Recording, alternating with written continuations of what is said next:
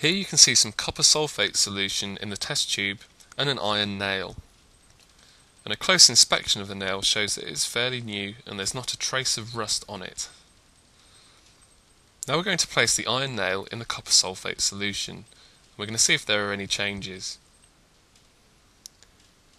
Already you might be able to see that there are some changes occurring on the surface of the nail. Once we've removed it from the solution, you can see it appears to be coated in a brown substance, which many people often think is rust. We're going to take a look at exactly what's happening here in the rest of the video. The process you've just observed is actually a displacement reaction. So what do we mean by this? Well, different metals have different reactivities, and a reactive metal can displace a less reactive metal from its compounds. So if we consider a reaction between metal 1 sulfate and metal 2, we can see that we form metal 1 and metal 2 sulfate. So a change has occurred, a reaction has taken place.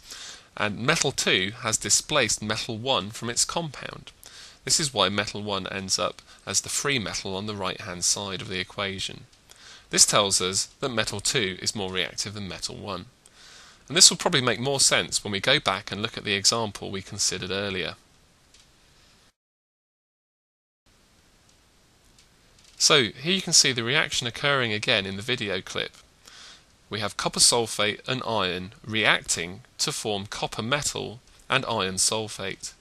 And the brown colour that we saw on the surface of the nail is actually the copper metal which is formed in the course of this reaction. And remember that this occurs because iron is more reactive than copper. And it's worth considering, as well as the word equation, the symbol equation for this reaction which is given below. And it's also worth thinking about the particles that are involved in the reaction. And here you can see the copper sulfate on the left hand side with the iron, and on the right hand side we can see copper and iron sulfate. And we can think of the reaction in terms of particles with a little bit of an animation as shown on this particular screen.